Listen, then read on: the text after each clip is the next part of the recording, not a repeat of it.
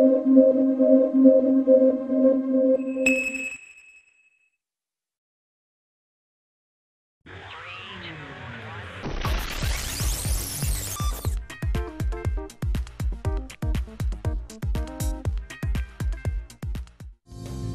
Best known for playing Eric Foreman in the popular sitcom That 70s Show, Topher Grace also made an impressive film debut with his role in 2001's Traffic, playing a cocky prep school boy who turns his girlfriend to heroin and cocaine.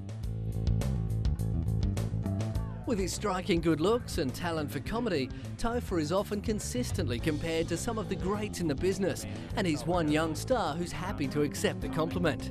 Uh, soulmate in working with her. I've heard of other young actors who get comparisons with established actors and they don't like it. You know, they, they say like, well, I'm my own person. And I, you know, when someone says, you know, Jack Lemmon or Tom Hanks or, you know, I think it's the ultimate compliment. So, no, I love it.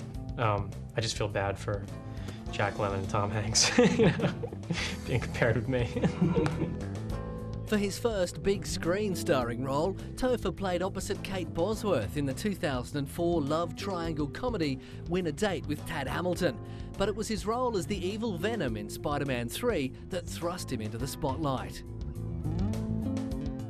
Venom, we were always talking about Eddie Brock. We weren't talking about Venom being scary. I mean, we actually barely ever talked about it. I think that's important that even with these bad guys, that you see their humanity and you see, you understand where they're coming from.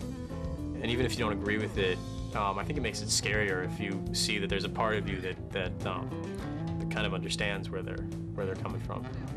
He joined the cast of Kids in America, playing a college graduate who, along with his twin sister and best friend, is trying to figure out what direction he wants to go with his life. Topher will also be seen in The Crusaders as real life civil rights lawyer Jack Greenberg.